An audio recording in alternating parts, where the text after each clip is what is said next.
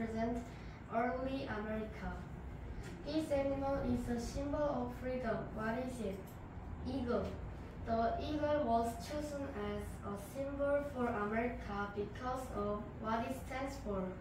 The eagle is a symbol of power, strength, freedom, and independence. People still travel to America in search of freedom. This brought the first group of pilgrims to America. What is it? Mayflower. The Mayflower sailed from Plymouth, England on September 16, 1620 with 102 women, men and children and arrived in Massachusetts on November 21, 1620. This rock marks the the pilgrims first landed in America. What is it? Plymouth Rock.